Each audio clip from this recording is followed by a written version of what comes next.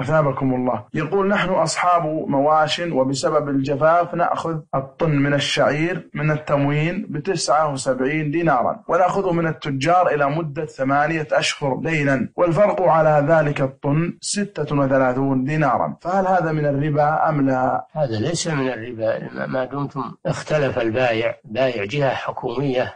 بقيمة مخفضة وإذا أخذتموه من جهة تجارية بنظرة. بقيمة مرتفعة هذا اختلف العقدان اختلف العقدان فلا يدخل ذلك في الربا. نعم.